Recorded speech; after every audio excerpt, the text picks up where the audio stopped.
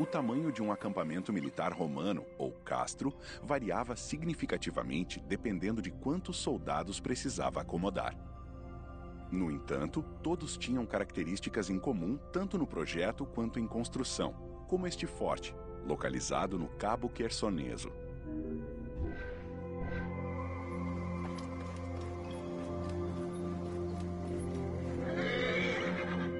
Com formato retangular, os fortes eram reforçados com muralhas e um sistema de vala.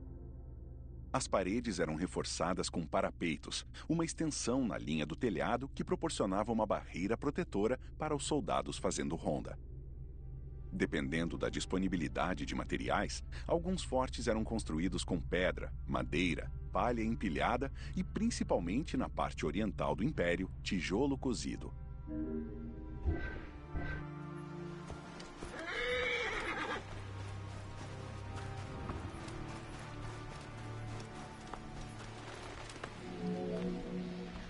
Os acessos pelos quatro lados eram flanqueados por torres de vigia. O oficial no comando ficava no meio do acampamento, podendo assim ter uma visão clara das tropas e do portão principal.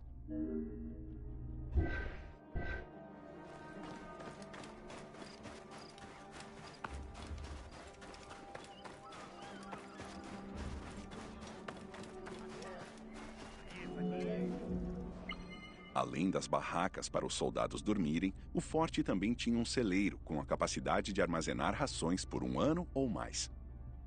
Para garantir a saúde dos soldados, todos os acampamentos contavam com uma equipe médica e um hospital.